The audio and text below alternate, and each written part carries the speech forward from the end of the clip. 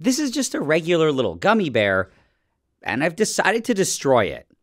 To do this, I just have to get a vial, and I'll add a small amount of something called potassium chlorate. After that, I just have to heat it up until it all melts into a nice goop. At this point, it should be pretty good, and I can carefully drop in the poor little gummy bear. Almost immediately, the potassium chlorate started ripping it apart and oxidizing it to water and CO2 gas.